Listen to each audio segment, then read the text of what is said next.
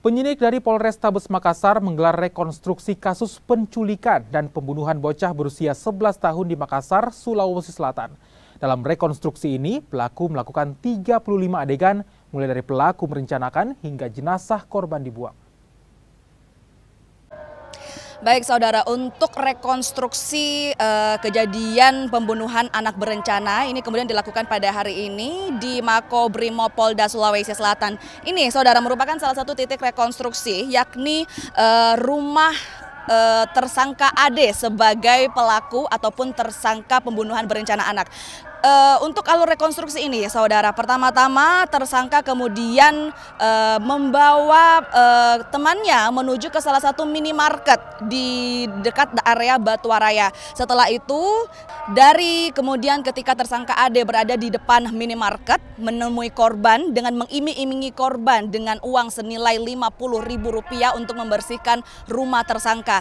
Uh, tersangka Ade kemudian menghubungi tersangka FA untuk bersama-sama uh, menuju ke rumah Ade yang merupakan rumah tempat uh, tersangka ini kemudian membunuh korban. Ketika uh, tersangka Ade dan juga tersangka FA menuju ke rumah uh, Ade ataupun rumah tersangka, mereka kemudian mendudukkan si korban di depan laptop dan kemudian melakukan proses pembunuhan dengan cara mencekik leher korban dan juga membenturkan kepala ke tegel rumah uh, tersangka Ade. Kemudian mereka kemudian mencoba untuk menghubungi situs web yang ingin mereka kunjungi, namun kemudian karena tidak adanya balasan, uh, tersangka kemudian uh, membungkus jenazah korban dengan menggunakan kantong plastik dan kemudian membawa uh, korban jenazah korban secara utuh ke waduk Nipa-Nipa di ujung Loe Kabupaten Maros. Dan setelah kemudian tersangka Ade dan tersangka FA membuang jenazah korban secara utuh ke Waduk Nipa-Nipa, di samping Waduk Nipa-Nipa, tersangka Ade dan juga tersangka FA kemudian kembali kembali ke rumah tersangka Ade dan kemudian berpisah kembali ke rumah masing-masing. Ada 35 adegan. Terus kemudian dengan adanya rekonstruksi yang kita laksanakan ini, eh, kami dari penyidik Polrestabes Makassar segera berkoordinasi dengan JPU dan akan mengirim berkas perkaranya untuk dipelajari oleh JPU paling lambat besok kami akan sudah kirim. Setelah itu kami akan koordinasi dengan JPU selanjutnya untuk penanganan lanjutnya untuk diteliti. Karena ini pelakunya ada dua, satu dewasa, satu eh, anak-anak. Uh, sehingga dalam penanganan perkaranya kami split.